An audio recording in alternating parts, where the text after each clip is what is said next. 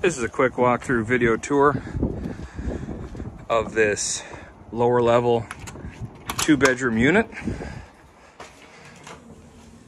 in Moncton's Hennessey area.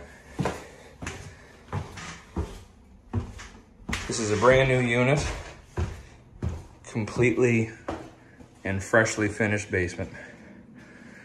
So let's jump right in. As you come through your door, you have your kitchen, lots of counter space, double stainless sink, dishwasher, and of course, fridge and freezer. From there, off your kitchen, you have this area, perfect for a small dining room table, maybe two or four chairs. Off this, we have some storage air, uh, storage space. You'll notice there's a, an air exchanger in this unit. It has an air exchanger and electric heat. So coming down the hallway, we have your living area. It's a cozy area, big enough for a small couch.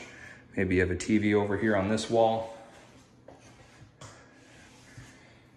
And then from there, we have your bathroom through this pocket door with your laundry machines, standing shower, and there will be a mirror there. Don't worry about that. Nice vanity. So from your living area, we come into your first bedroom. Lots of lighting down here and solid surface flooring. This room is spacious, big enough for a double or queen size bed. As you can see, there's plenty of storage areas.